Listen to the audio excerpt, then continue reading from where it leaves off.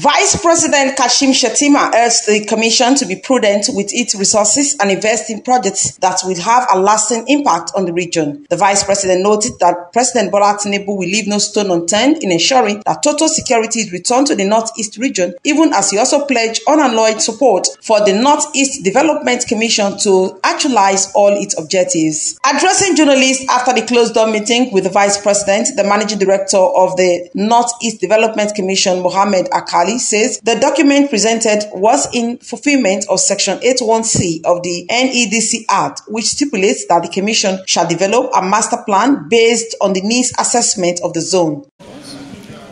Well, uh, we are here today, the whole board of the Commission, to meet with the Vice President.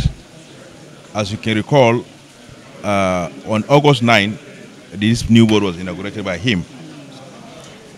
And today we came to give him highlights of our master plan. That is the, uh, the document we are going to use in delivering our mandate in Northeast, so that he'll appreciate what we want to do in the next uh, four years. A master plan, when you read our act, the act said we should have a master plan for 10 years. And we already have that master plan now. And that master plan, as I said, covered all our activities for humanitarian, development, uh, peace, and whatever you think about in the Northeast is covered in the master plan.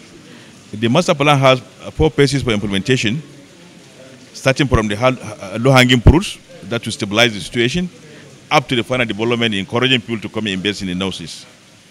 Then we have 11 pillars. These 11 pillars covers almost all the sectors. You can think of education, health, agriculture, and so on and so forth and also have one very important uh, sector, we call it a connected region, that is cross-state kind of uh, uh, uh, pillar that will get us to do things that will benefit all the six states in the region. The 10 years Northeast Development Master Plan has four implementation phases, 11 pillars, and 529 schemes and programs. Best Orator reporting for BTV News.